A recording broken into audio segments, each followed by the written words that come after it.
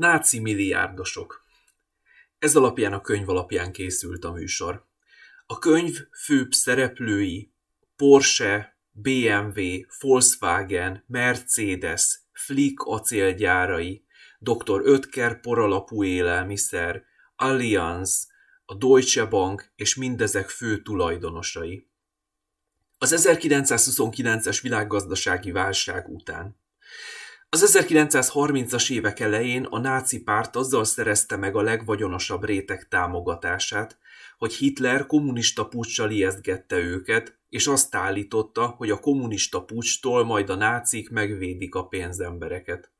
Továbbá megígérték az akkori milliárdosoknak, hogy hatalomra kerülés esetén fel fogják számolni a szakszervezeteket, így képviselet nélkül a munkavállalóknak minél kevesebb pénzt lehet majd adni. Amikor az 1930-as évek első felében összeültek a náci vezetők és az iparmágnásai, a náci vezetők egyértelművé tették, hogy a demokrácia felszámolásához kérik a pénzt. A vagyonos réteget egyébként is irritálta a demokrácia, mert a demokrácián keresztül a szegények és a középréteg is bele tudott szólni a közügyekbe. A demokrácia felszámolása után csak a vagyonos réteg tudott beleszólni a politikába. Így már a tárgyalások ezen korai szakaszában egyértelművé tették a náci vezetők, hogy a hadipar tulajdonosai milliárdos nagyságrendű állami megrendelésekhez fognak jutni úgyhogy már akkor egyes ipari vezetők ünnepelték a nácikat. Voltak, akik nem, de ők is azt lesték, mikor fog nekik is egy nagyobb falat leesni az állami megrendelések tortájából. Ezután 1936-38 időszakára jöttek a zsidó ellenes törvények, ami az ipar nem zsidó vezetősége számára még több pénzt hozott hiszen a vagyonos nem zsidók áron alul vagy épp ingyen hozzá tudtak jutni a zsidó kereskedők és gyártulajdonosok vagyonelemeihez. A tehetős rétegnek volt pénze megszerezni a zsidó vagyont. A növekvő háborús készülődés miatt egyre több és több állami megrendeléshez, tehát állami pénzhez jutottak a fegyvergyárak és azok tulajdonosai.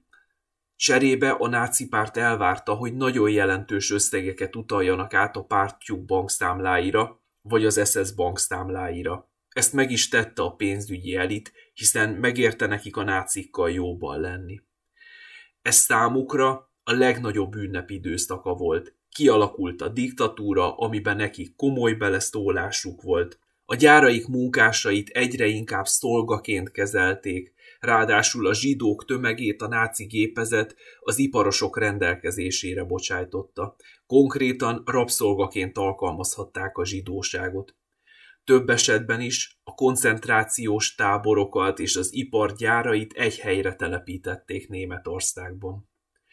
Csehszlovákia és Ausztria náci bekebelezése már a második világháború előtt megtörtént így az osztrák és cseh bankok, iparvállalatok, mezőgazdasági konglomerátumok és bányák mind a német ipari réteg tulajdonába kerültek.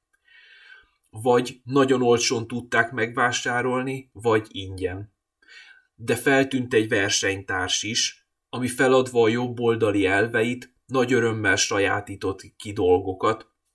A versenytárs nem volt más, mint a náci állam, ami elkezdett rohamtempóban államosítani. A második világháború.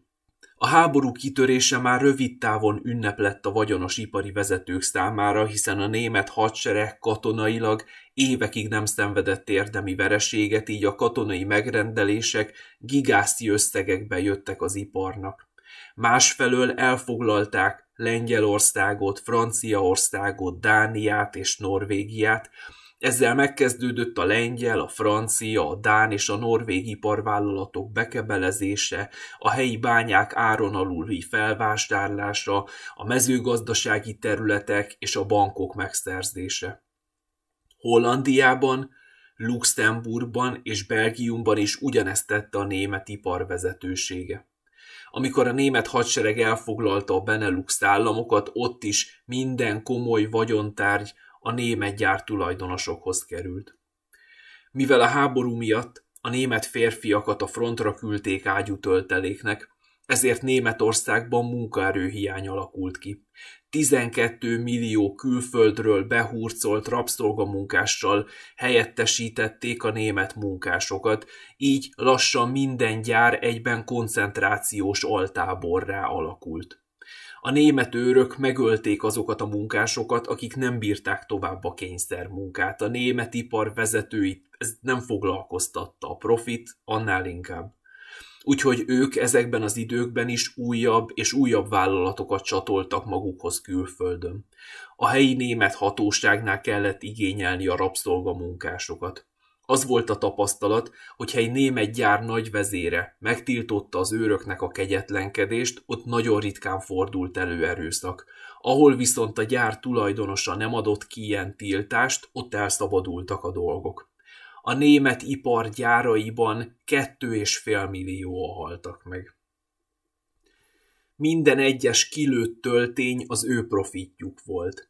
A halott német katonák helyére belépő újabb ágyutöltelék németek egyenruháit is ők gyártották. A torpedóktól kezdve a rakétákon át a legyártott tankokig minden termelési profit az ő zsebükbe folyt.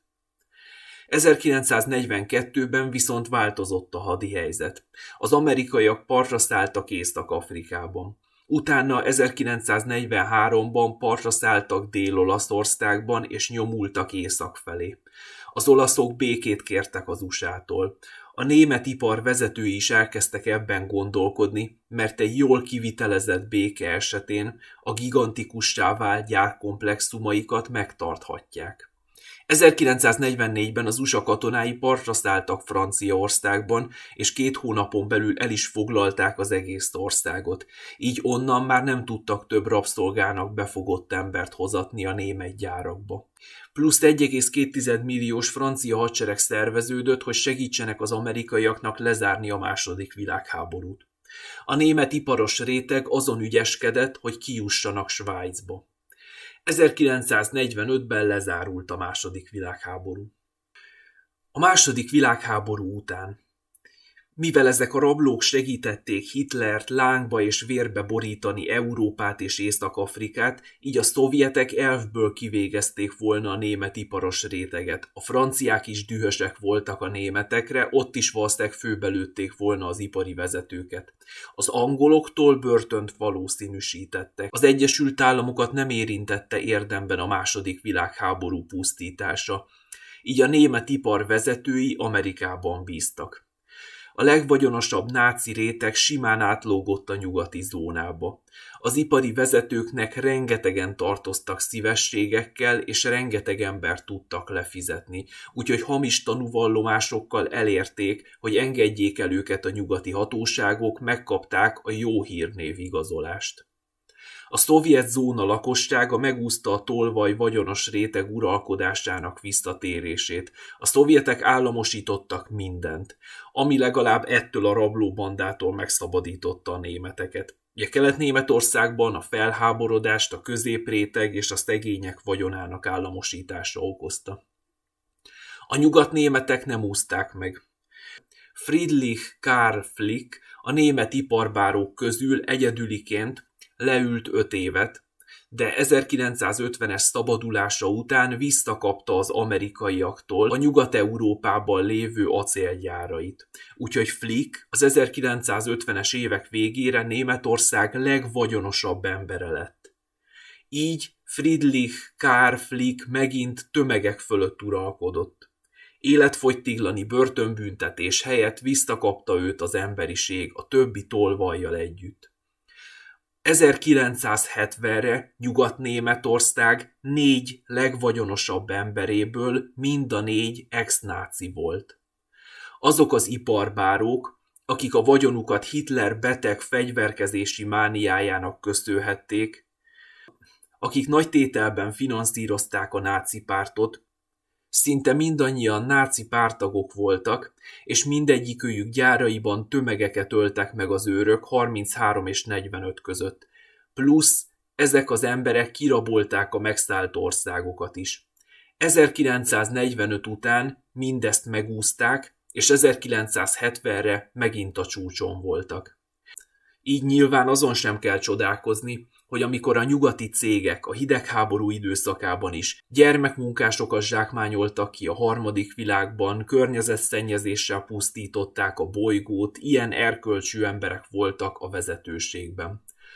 A Deutsche Bank maradt a világ egyik legnagyobb bankja. 1945 után a bankot Hitler egyik volt pénzügyi tanácsadója irányította, Hermann Josef Abs.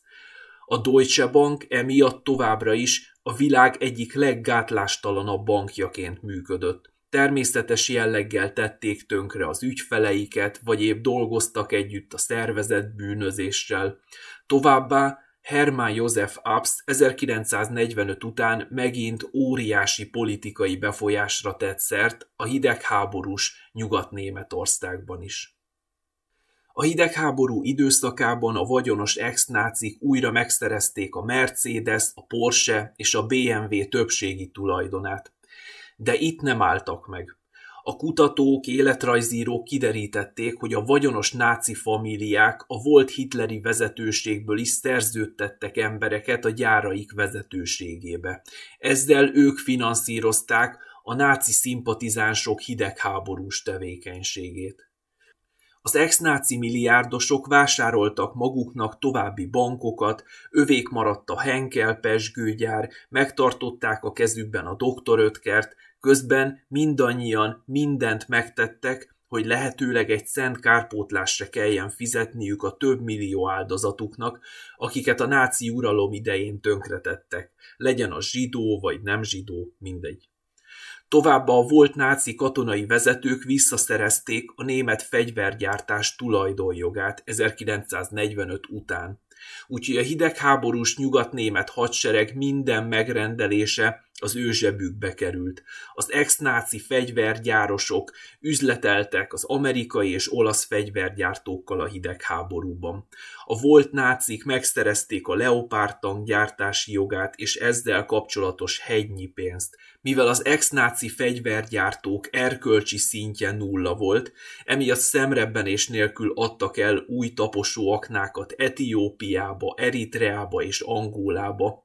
A taposóaknák lényege, hogy katonailag használhatatlanok, ha csak nem tesznek minden négyzetméterre többet, viszont évtizedekbe telik felszedni, és addigra rengeteg civil halálát okozna. A hidegháború után Flick volt náci acélbáró csak 2006-ban halt meg. Ausztriában. Amikor meghalt, akkor Ausztria legvagyonosabb embere volt. Németország mellett egy másik országot is bemocskolta jelenlétével és politikai kenőpénzeivel Ausztriát. Minden korrupt osztrák politikus meglátogatta, úgyhogy az ilyen emberek jelenléte a politikai réteget is tovább korrumpálta. A vagyonos ex-náci iparmágnások fizették, Németországban a Stile Hilfe nevű szervezetet, ami kiváló ügyvédeket szerzett a többi nácinak, hogy kimossák őket minden vád alól, 1945-től fogva. Továbbá pénzzel támogatták a volt SS tiszteket és bárkit, aki részt vett a tömeggyilkosságok vagy háborús bűnök elkövetésében. A Stile Hilfe nevű szervezet még 2010-ben is aktív volt. Augustus von Fink, egy másik náci iparmilliárdos, 1980-ban halt meg, de az egyik fia átvette a vagyonát, és abból finanszírozta az AFD nevű német újfasiszta pártot egészen 2021-es haláláig. Egy másik volt náci iparbáró családja, a Kvant család 2019-ig maradt Németország legvagyonosabb családja. Többek között övék a BMW fele. A Reimann család előzte be a Kvant családot 2019-ben. A Reimann családnak vegyi gyárai voltak a náci korszakban, ők a többi vagyonossal ellentétben már 1931-ben nagy összeggel támogatták a nácikat, Hitler rajongói voltak. A gyáraikban embertelen körülmények között dolgoztatták a rabszolgamunkásokat, rengeteg ember haláláért voltak felelősek. A Reimann család a második világháború után azzal volt elfoglalva, hogy megúzták a felelősségre vonást. Mivel ez lényegében sikerült is, visszakapták a gyáraikat. Utána a Reimannok felvásárolták az amerikai Dr. Pepper-t, Snapple-t, Krispy Kreme Donutsot, Pete's Coffee-t, Einstein Bros Bagels-t, Stumptown Café Roastert, Kerry Green Mountain-t, Panama Breadet és a Pret Ömengört. Európában megszerezték a Dauer Bercet, a Koti kozmetikát, a Belli divat márkát és a Jimmy Choo-t. Mindennek a profitjából lettek ők Németország legvagyonosabbjai. De az 1980-as években elindult egy másik folyamat is. A nácik utáni új nemzedék felnőtt, és elegük volt az ex-nácik uralta nyugat-német államból és üzleti életből, így aztán elkezdték nyilvánosságra hozni ezen családok pusztító múltját és jelenét. Megkezdődött a nyugatnémet megtisztulás, ami a mai napig tart. Ez a könyv az első könyv, ami ebben a témában íródott. A könyvet 2022-ben adták ki.